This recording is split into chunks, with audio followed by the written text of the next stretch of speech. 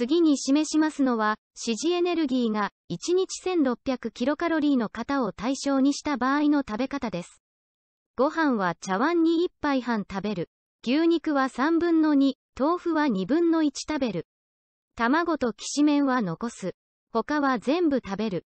疲れ気味の方へ。外食の中では、野菜が取れる、数少ないメニューの一つです。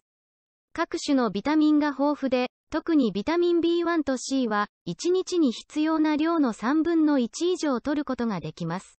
総エネルギーは高いものの、上手に食べ残せば栄養バランスが取れるメニューです。内容的には、牛肉が 100g、200キロカロリーと、焼き豆腐が4分の1丁ほど入っており、卵を足すとタンパク質の量が多すぎます。そのため、卵を減らして調節します。なお、きしめんは主食と同じ糖質源となる食品ですから、食べる場合はご飯1杯弱となります。